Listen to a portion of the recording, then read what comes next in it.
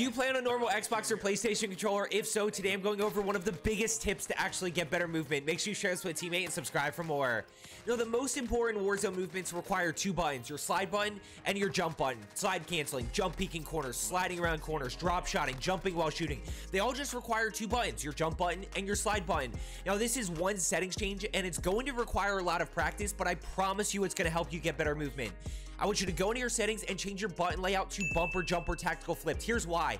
It makes your right stick crouch prone slide and your left trigger or L2 jump, allowing you to do all those movements without taking your right thumb off the right stick. Share with a teammate and subscribe for more.